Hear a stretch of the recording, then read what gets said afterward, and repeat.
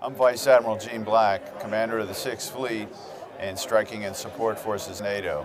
This is my first experience at the International Sea Power Symposium, and what a wonderful experience it's been here in Newport with heads of Navy that, that because of the nature of my fleet, which ranges from the North Pole to the South Pole in Africa and Europe, I got to meet so many heads of Navy that I haven't been able to meet otherwise through the COVID restrictions.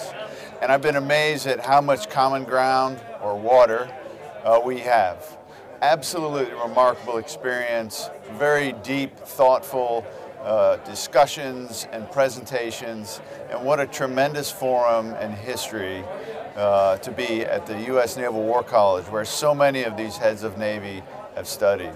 What a great experience and uh, I hope I get to do it again sometime.